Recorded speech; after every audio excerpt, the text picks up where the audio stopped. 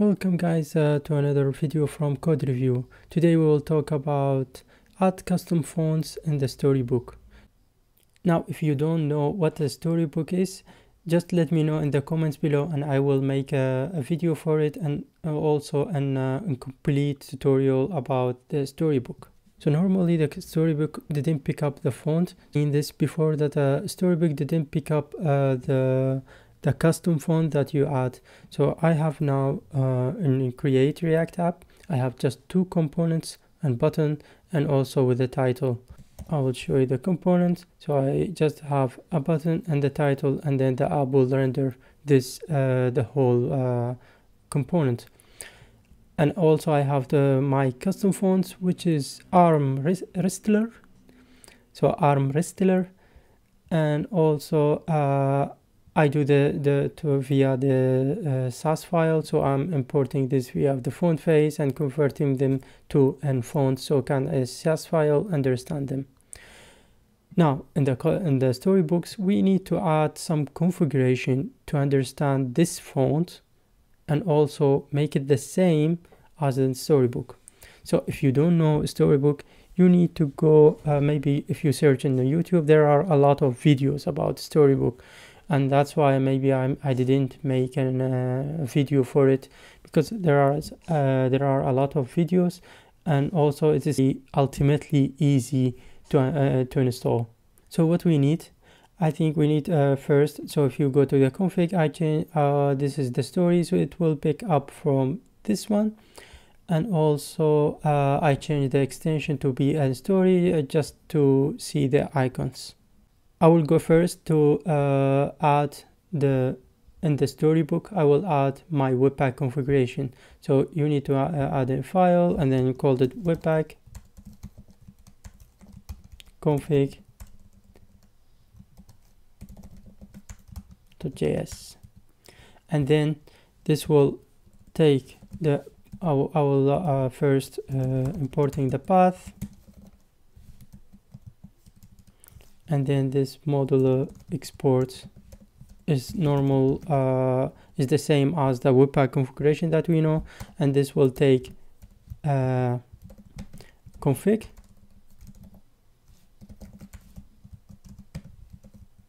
And then what we need to do in the end we just return config.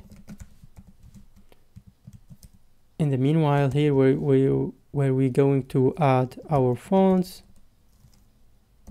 so let's say fonts and also uh, some styling maybe.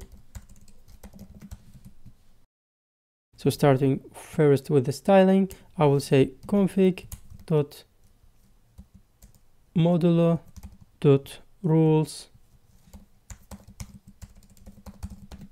dot because rules is an array so we can push and this is where uh, my uh, config for styling. So I will use an ex a regular expression here but not now. We'll use this one. So uh, the loader that we need is called resolve URL loader. And also you need to say include and this include takes uh, the path resolve and take the directory name with source.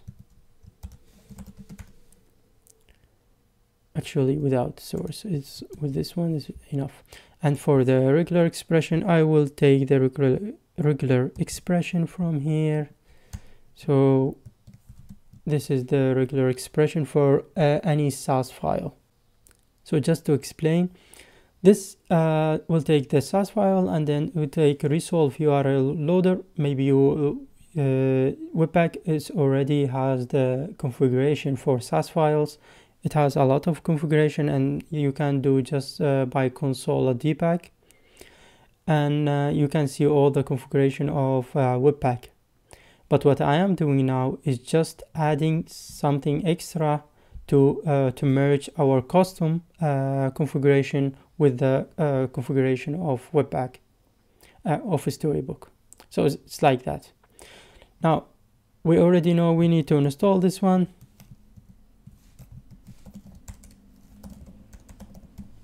and I think I already did it like uh, yarn add uh, uh, as a div dependencies let this finished and let's go to the our uh, fonts so what we need here we need a file loader uh, so I will go also config dot modulo dot uh, rules dot push. And here I will use uh, my uh, test which is any file loader but I'm not filling this right now. And then I will use the loaders that I need. The loader is called file loader and then I will say query for uh, this one.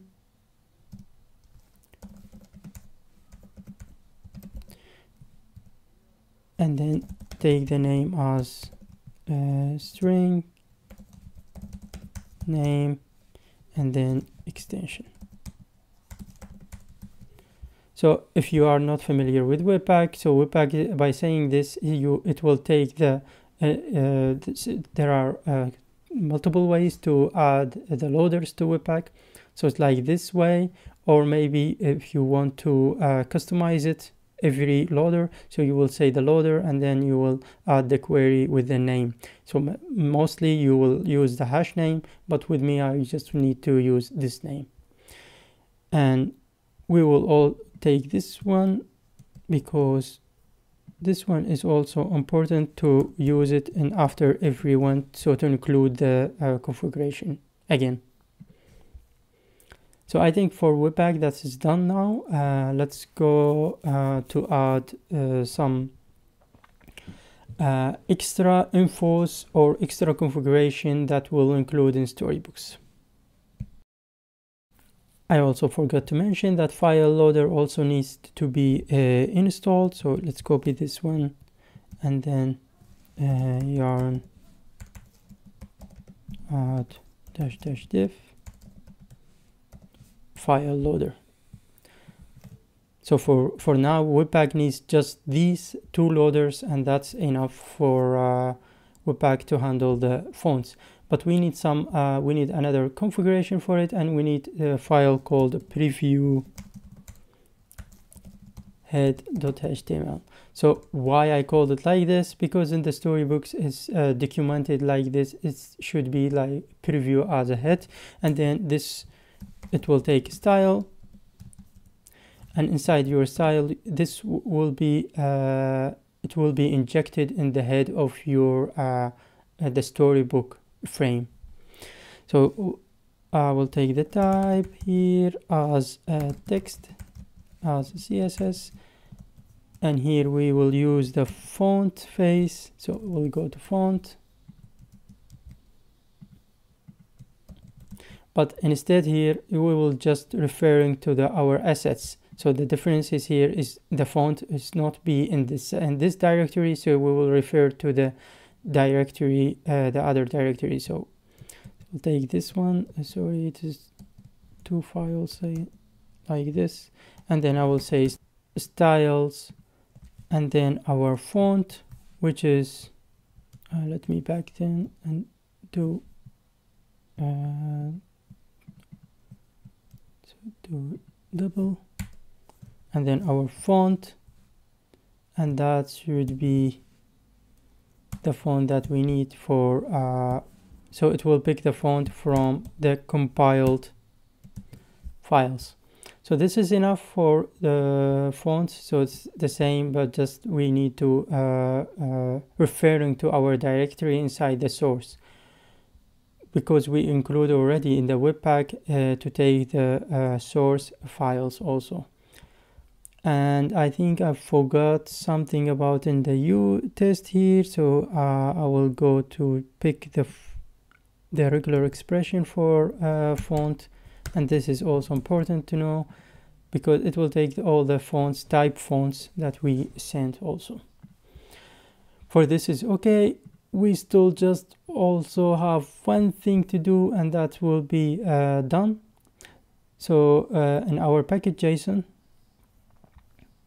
we need to add something uh, called uh, to referring to this directory because now we have a webpack configuration but this in this uh, package.json uh, in the storybook starter it will not uh, pick the new configuration. So we will pick it so by saying the dash c which is the directory and then storybook.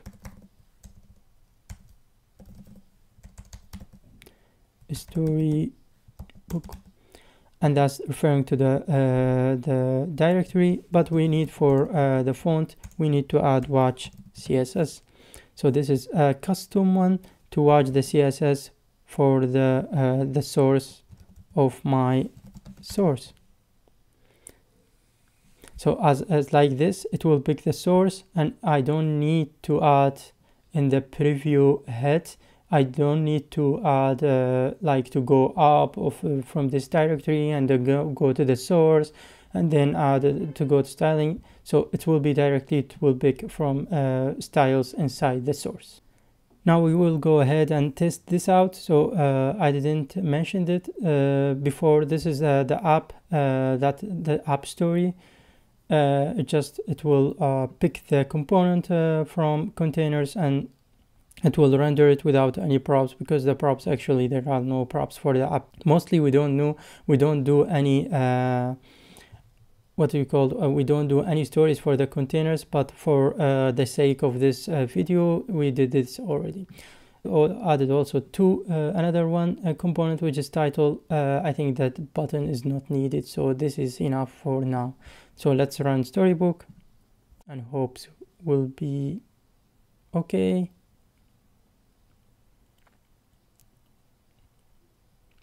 start compiling and then open the app and voila. So uh, as you see the click me is the same as the, in the run app the same font. And if you check uh, in the inspector and then go to the network pick the font and then reload. It picks the font as expected if you like the video, don't forget to uh, subscribe, share, uh, and give like. It will be appreciated. And also, uh, let me know in the comment below that you are, uh, if you have a problem or uh, you are asking for something else.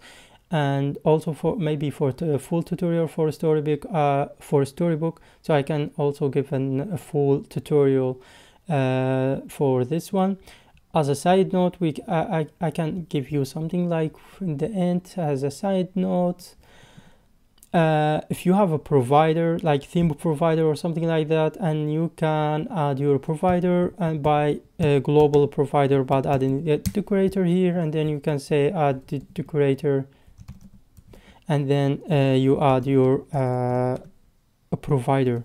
So let's say I have an uh, this one so this is my provider. For example I'm not I'm just saying and then I have a story and this story will be like this. So my story it will be like this.